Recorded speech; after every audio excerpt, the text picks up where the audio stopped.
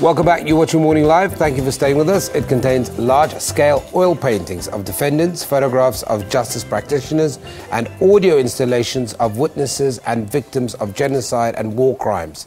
That's international artist Bradley McCallum's socially engaged public art project titled Weights and Measures, opening at the Constitutional Hill in Braamfontein today. The exhibition challenges us to think critically about the legacy of international tribunals, the issues facing the International Criminal Court, and the voices of victims in seeking justice. To tell us more about weights and, weights and measures, we are joined by the man behind this body of work, Bradley McCullum, and curator of the exhibition, Natasha Becker. Guys, thank you very much for joining me. Thank you. Thank Bradley, you. welcome to South Africa. Um, let's let's talk about why you wanted to tell this very emotive uh, and I think maybe highly topical uh, story.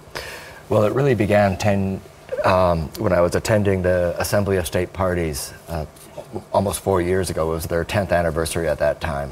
And there was only one case that had reached a point of conviction, and that was Thomas Lubanga.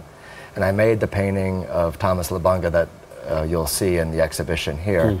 And it haunted my studio, and it just made me realize that I, uh, there was a, an important story to be told, and it could be told through portraits. Mm. So I've been working on this body of work now for over three and a half years, and this is really the first time that all of the portraits are coming together to be seen. Over 20 paintings Whoa. and 60 photographs of justice practitioners and the oral history. So it's I couldn't think of a better place to launch the exhibition than Constitution Hill.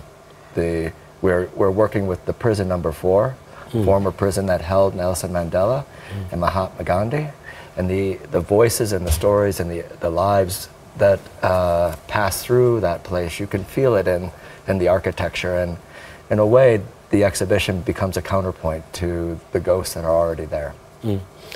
Um, I, I want to come to you, Natasha, but I, I want to just ask one more question for Bradley. The importance of, and I, and I know it's, I don't know how to phrase this, but the fact that you're coming to South Africa mm. at such a time right. when we are really grappling with issues, yeah. when we are really trying to understand our, our, our, our identity, our space, even mm. our history.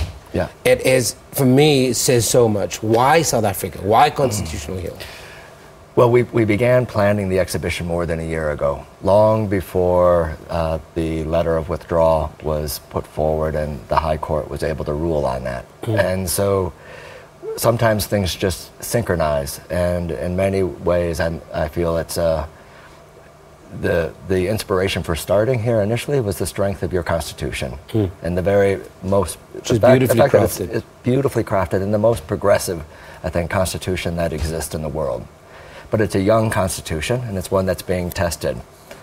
Mind you, our constitution is being tested right now in ways we would never have By imagined. POTUS. Natasha, so. let me bring in this conversation. I, I, I think that for, for, for South African who hasn't been to Constitutional Hill, the gravitas of that, of that as a venue, as a backdrop to such an, uh, an important discussion. As the curator, uh, as, as Brad was saying, it took over three years, a year to develop this relationship, but today is the launch. Today is the launch, and Constitution Hill is a museum. Uh, was a former fort and a former prison. Mm. It's the home of our Constitutional Court, uh, which is in a beautiful new building. And the Constitutional Court also has an art collection that Albie Sachs started, and you know represents art across the sort of mm. social and political spectrum. The section that we are in is the men's number four prison, formerly the uh, number four prison, and it was particularly brutal place for um, prisoners because they were racially divided as well and treated, mm. you hmm. know, accordingly. Um, and we, with the support of the Norwegian embassy, were able to bring the exhibition to that part of the site um, where there wasn't electricity before, so there was no lighting, um, and you know, so we were able mm. to um, really create an infrastructure for the exhibition with their support and with the support of Constitution Hill staff who were working with us on this on this project. So the site, um, you know, is this historical setting, but uh, we're having a contemporary conversation yeah. about justice I was today. About to ask question, yeah. And international justice is a very complicated issue.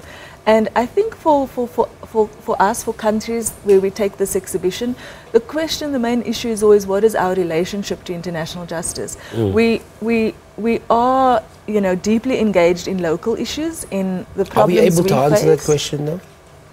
I think we I think we we've we've hosted a number of dialogues too. So we've had three um, civic dialogues where we invite panelists like Richard Goldstone, Navi Pillay, you know, South Africans who've been key to the formation of the International Court actually because South Africa and Canada, for instance, played a really critical role in starting, um, you know, the legislature, etc., to establish this court. Um, and Nelson Mandela it's part of his legacy too, international justice. You know, he really promoted it and he sent Richard Goldstone to be the chief prosecutor on the Yugoslavia tribunal, Yeah. you know. So the exhibition looks at previous And all of those. tribunals as well as the, the court cases. And I think that what we've seen is that there are different aspects to this. There's the human rights approach. There's there's Hmm. you know new ways in which certain crimes have been introduced in war, such as rape Hmm. Yeah. and sexual violence. And then there's also constitutional issues. So through the dialogues, we've tried to unpack some of sure. these. Yeah. Yeah. I, I've run out of time, but I've got. To, I'm going to steal some time quickly. Okay. Bradley, final question to you. Sure. Just talk to me about weight and measures. Why name it that? Well, for me, it's really about uh, trying to create a metaphor for the balance of justice, and that this isn't about guilt or innocence, but it really is about the judicial structures and how to um, make visible and metaphoric and poetic the fact that we're trying to bring uh, the principles of due process to some of the most heinous crimes that have been committed. And it's running until when? It will be up through the month of April. So please Wow, so come. there's more than enough time to go. And we'll have Yeah. entertainment and food and To- free- today. free It's open drinks to everybody. Today, Today open it's to open, everybody. free, and Okay, it'll be a great at great what time does it start? At 11 a.m. At 11 a.m. That's brilliant. Okay, Yes. cool. Now, Tasha Baxter, uh, Bax, uh, Becker and uh, international artist Brady McCallum. Uh, she is the curator, he's the artist. It's called Weights and Measures. It's opening at the Constitutional Hill in Braamfontein today at 11 o'clock. It's very, very important. Let's support it. Let's go out, family, friends. Let's go and check this out. We're taking our break. Don't go anywhere.